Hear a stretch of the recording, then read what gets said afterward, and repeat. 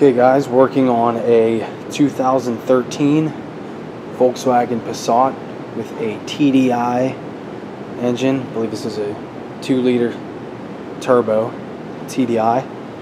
Um, customer complaint is a check engine light. So let me take you to the scan tool, see what kind of trouble codes we have. Okay guys, a couple of trouble codes we have.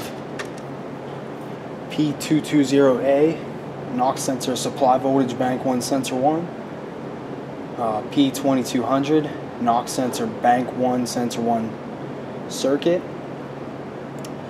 Um, function restriction due to implausible message. Function restriction due to received mechanical malfunction value mechanical failure. Not sure what that is. Um, the P2200 again P2209, NOx sensor, heater sense, bank 1 sensor 1 circuit range performance, U1006, NOx sensor bank 1, no communication, and P048C exhaust pressure control valve position. Uh, that's probably a seized control valve. Um, just going to focus on these NOx sensor faults. Okay, so just going to stay low right now and uh, just take a visual inspection on this NOx sensor. Supply voltage, maybe take some voltage measurements, see what we have. I know that the NOx sensor is its own module. So basically what the NOx sensor does is tells the ECM how much NOx it detects in the exhaust. And based on that input to the ECM the ECM adjusts the SCR injector or the AdBlue injector. And it adjusts the amount of AdBlue that is injected into the exhaust. And what it does is the urea or AdBlue that is injected turns the NOx, nitrous oxides, into nitrogen and water. So what we're going to do is just take a visual inspection first and go from there. I set the vehicle running so the battery doesn't die. Uh, might be leaving the key on while it's in the air. What you have to do is take this shield down. There's a couple 10 plastic 10 millimeters. And uh, get you a shot of this NOx sensor. So this is the NOx sensor right here. And this harness comes all the way down and goes underneath this shield. And then right in there is the NOx sensor module. So that's what we're going to be doing some voltage checks. Uh, let me get this shield down Alright, so I have my wiring diagram. Um, and I just did a couple drawings on it. This right here is our NOx sensor. This is a 5 pin connector. So pin 1, blue and red. And follow that up. It goes up, and I already drew it. It goes to fuse SB4. So that is the power supply. Pin 2 and 5 looks like they go to ground. Pins 3 and 4, they are the CAN wires. Looks like pin 3 is the low CAN, pin 4 is the high. Uh, these first checks I'm going to do, we had a fault for the supply voltage, so I'm going to go on this pin 1, the blue and red wire, and take a voltage measurement, see what we have there. So here's our NOx sensor module. This side goes to the actual sensor. Um, there's no way to really access those pins unless you're piercing wires. Um, the checks I want to do are on this side. So right here is our blue with red. That's our power supply. Um, there's a couple grounds and then there's some CAN wires. Uh, I want to check the power supply here and check the grounds. And what we should have on this wire is 12 volts. Um, it's kind of hard to do this, so I'm just gonna keep you guys focused on the voltmeter.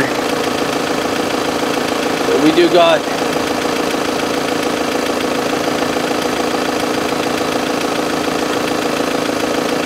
well we had our voltage on there. It's definitely jumping around here. My pin is definitely in there. Two volts, three volts, that could be our problem right there. Move this over, check this ground. 0.01. I'm okay with that. Kind of hard to find a good ground under here. Let's go back to this power supply wire. Red and blue.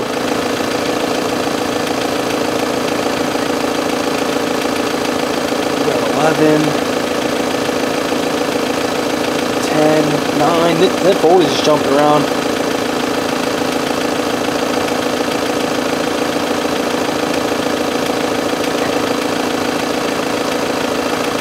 we definitely got some voltage fluctuation there. So there is, I think, a bulletin or a TSB or a recall, whatever you want to call it, on these connectors, on this little harness to replace this, this harness due to corrosion getting inside the wires. This one looks like it was already done. I guess that really doesn't mean anything. So I'm gonna try to try to hook my meter up here so I can just start wiggling this harness, see if we can get some voltage fluctuations there, you know, wiggle test. So, try to keep this simple. Keep this. Definitely in there. I'm gonna switch this pin. Be careful not to let that touch anything.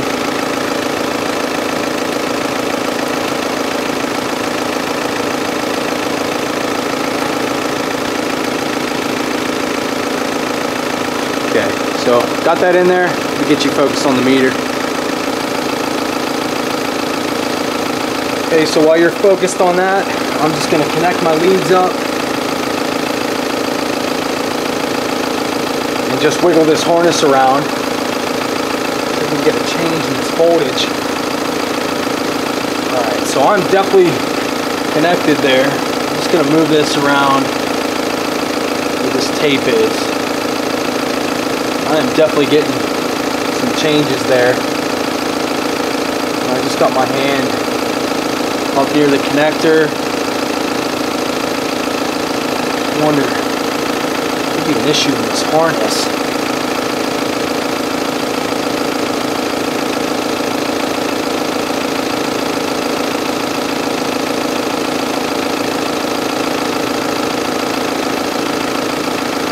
You guys try to get the meter what I'm doing in the shot. I don't know if you can see the meter right there. And I'm just moving this harness around.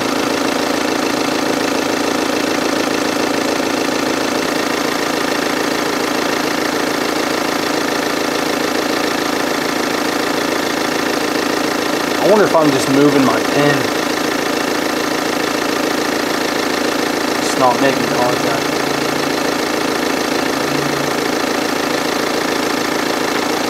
Just gonna pull this out.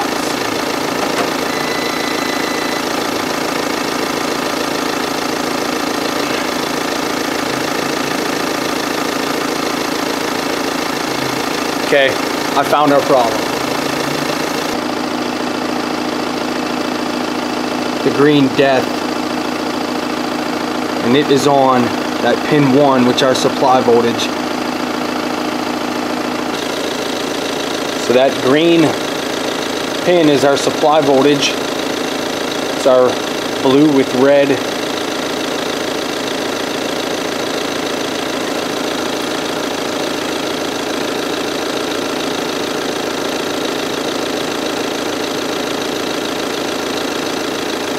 I don't know if that helps. It's definitely green.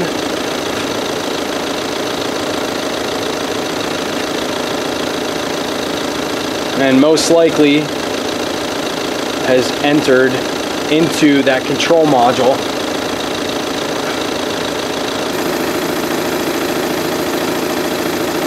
Kind of hard to see. I can't get a better angle with this camera, but that pin's a little green in there. So what this car is going to get is uh, a repin on this connector and possibly a module. See if I can get a better look inside there. I don't know if you guys can see that. There's definitely some green crusties on, it looks like, obviously our pin 1, pin 4, maybe pin 5, and uh, especially around pin 1,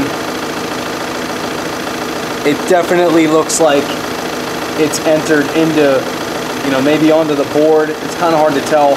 Um, this car is going to get a repin on this connector. Again, this is already done. And it's going to get a module too.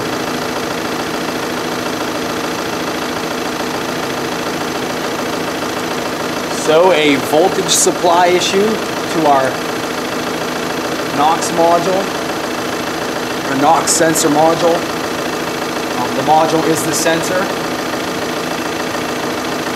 Not too bad. Don't forget, check your basics. That paint is nasty. So, first common rail on the channel. Um, not too bad. So real quick, hold this harness apart, rip that tape off. Here's our supply wire, all green and corroded. So this is definitely a confirmed issue. We're gonna fix this and replace the module. There's probably corrosion and rust all inside the module. So hope you guys enjoyed this and thanks for watching. One last thing guys, we also had the uh, exhaust pressure control valve fault and what happens with these these flaps in here seize up so basically right here kind of hard to see there's a spring and what happens is these valves will the flaps will seize up it's just a return spring so it should return to the open position and I can't even move this one. Usually you can move them by hand. I can't even move this one. So that's what to check for. That's usually what goes bad on these. I can't move this one. Usually you can, it's just a little return spring. So that's what to look for on that.